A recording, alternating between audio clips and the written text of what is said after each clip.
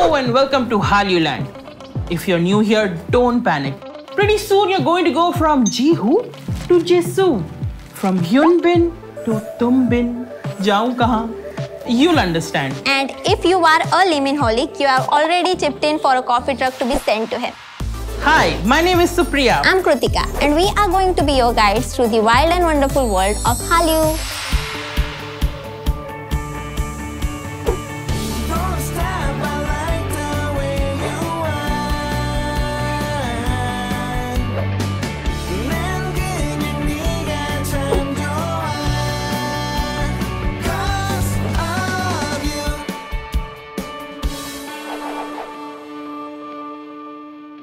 If you've ever heard a BTS song, if you've ever watched a K drama, or if you've ever followed a 7 step skincare routine, you have been hit by the Hallyu wave. Hallyu means the spread of Korean culture through various mediums like music, food, drama, and even this video that you're watching right now.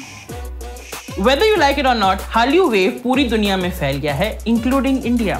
Everyday K-pop ex Bollywood edits go viral. BTS has acknowledged their Indian fans, and even Indian celebrities are showing their interest in Hallyu. Armaan Malik has covered songs by BTS and EXO.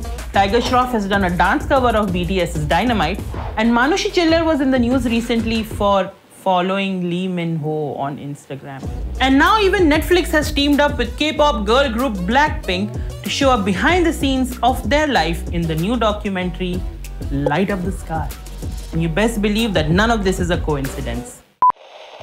And now, a quick history lesson with Krutika and Supriya. During the financial crisis in 1997, South Korea had to repay a loan from IMF. South Korea started to create and push out their own content as exports. And because of social media and YouTube, soon enough the whole world started binging on K-pop, K-drama, fashion, food. And now fans greet each other with fighting! 파 이팅! India loves K-serials, so how could we ignore K-dramas? The OGs of the K-drama craze in our country are the fans from Northeast India. Long before we were losing it over Captain Ri in Crash Landing on You, they were screaming for Goo Jun Pyo in Boys Over Flowers. And if you're a glass half full kind of person, a positive thing that's happened from this pandemic is that a lot of people have been using this time to discover this wildly interesting form of entertainment.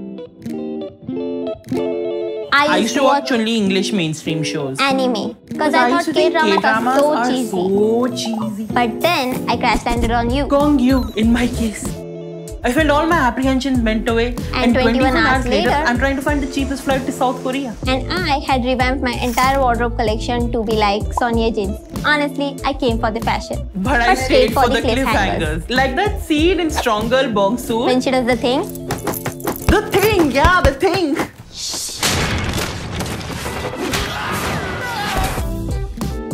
Cliffhangers are like chips. you just can't have one. And that's what happens with K-drama crushes too. Yeah, especially when the second lead syndrome sets in and then you're starting to root for the other guy and then you track down his entire filmography. All the interviews. And, then, you download Duolingo, all the OSTs. And you are craving Tteokbokki, Park Seo-joon, Ramyeon, Namjoon, Soju. Lee Min-ho. And then you wait for 15, 15 episodes, episodes. hoping that the writer ties off all the loose ends. Just for male leads to kiss. And then you say, just one episode and then, Then I'll, I'll go to sleep.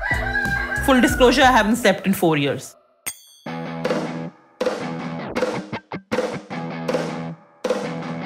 There's so many different types of K-dramas. There's something for everyone. But there are some tropes that keep repeating in most dramas. So that's why we are honoring them today with our prestigious K-drama Trope Award. And the trophy for the best way to realize you like the person you actually thought you hated goes to. It's a tie between wrist grab and slow motion falling. Oh my god! Congratulations!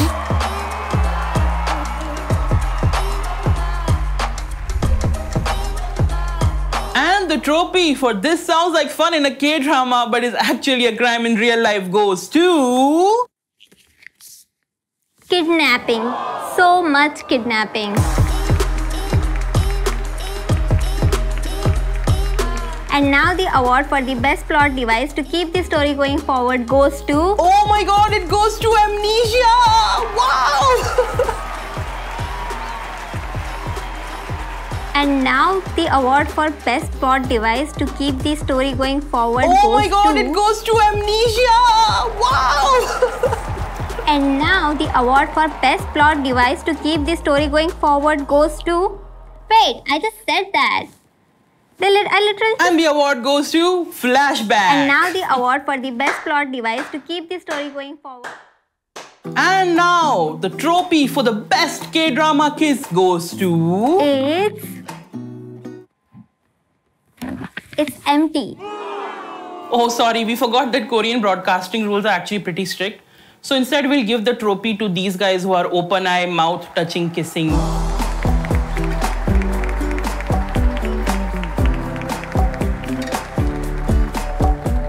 All this kissing is making me realize the lack of spice in my life. Where's the taste?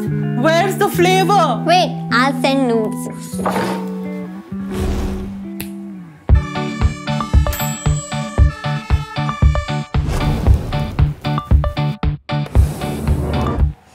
K-dramas are a nice escape from reality. Amazing set design, the food is incredible, the fashion is great, and the plots are amazing. Mm-hmm. Such great plots. In fact, we have some recommendations for you. I'll start. If you like zombies, watch Kingdom. If you like action, watch Healer. Array, not that kind of action. If you are into some twisted romantic K-dramas, then watch It's Okay to Not Be Okay. And if you like, woo, if you like sweet, fluffy, slice of life dramas, try She Was Pretty. Or if you want to try something really modern and cool, try Itaewon Class. If you are in a really, really long distance relationship or if you are single, then watch Crash Landing on You. Often female leads are criticized to have a bad writing, but this one is strong. And if you're a BTS army, you've probably seen Hwarang twice. I don't need to give this recommendation to you. But this amazing modern music against classical ancient time, oh, incredible.